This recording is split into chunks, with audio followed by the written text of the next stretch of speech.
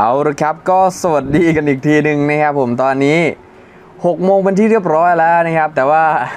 เราก็ยังเข้าไม่ได้อยู่ดีนะครับ ซึ่งตัวเกมเนี่ยได้ประกาศออกมาแล้วนะผมว่ามีการเลื่อนปิดปรับปรุงไปอีกนะครับปิดไปเป็นตอนไหนครับ เขาบอกว่านะครับ เราจะเล่นได้เนี่ยในเมื่อเวลา 2 ทุ่มตรงนะครับ2ทุ่มตรง อัปเดตเป็นเวอร์ชันนะครับ4.2.0 นั่นเองนะครับ เวลาที่เขาบำรุงรักษาเราก็ ต้องรอนะครับมันขยายเวลาออกไปเรื่อยๆนะครับเพราะว่ามันยังทำไม่เสร็จนะครับอันนี้ก็ต้องเข้าใจคนมิด้วยนะครับอย่าเพิ่งด่าเขานะครับยังไงก็เราก็เล่นเกมเขานะครับไม่มีเกมเล่นก็ไม่รู้จะทำยังไงอะก็ต้องทนเอานะครับผมอดทนไว้นะครับอดทนไว้ดีที่สุดนั่นเองนะครับเรารอกันไปก่อน ตอนนี้บอกว่าเลื่อนไปอีกแล้วนะครับผมก็รอทั้งตำนานรอทั้งอีเวนต์นะครับผม